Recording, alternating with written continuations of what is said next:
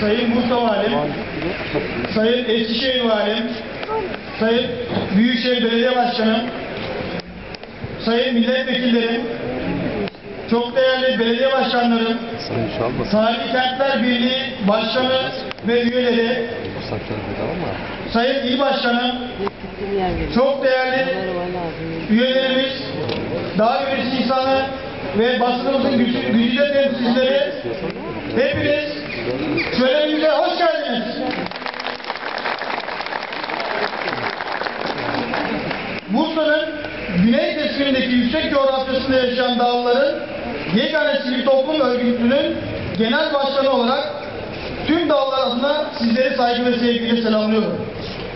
Zor yaşam koşullarına birçok mahrumiyetlerine karşı en büyük zenginlikleri olan kültürel miraslarını sergileyebilecekleri, yaşatabilecekleri ve dostlarıyla paylaşabilecekleri kültür merkezimizin açılışına bir kez daha hoş geldiniz diyorum.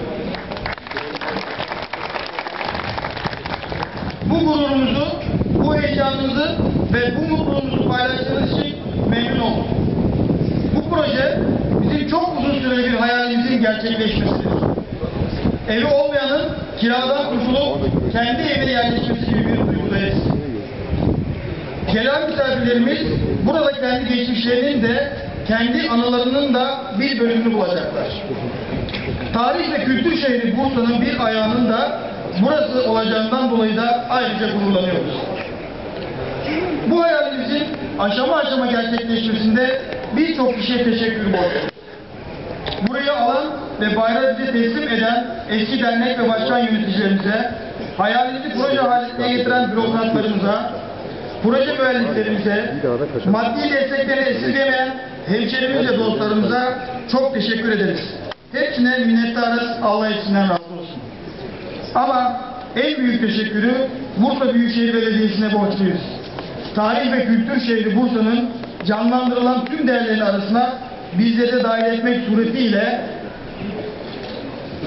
bizim büyük hayalimize bu gördüğünüz kü- yöresi kültür merkezi ile vücut bulduran Büyükşehir Belediye Başkanı Sayın Recep Aktepe'ye bütün dağlara, bütün Bursalılarda şükranlarımızı sunarız.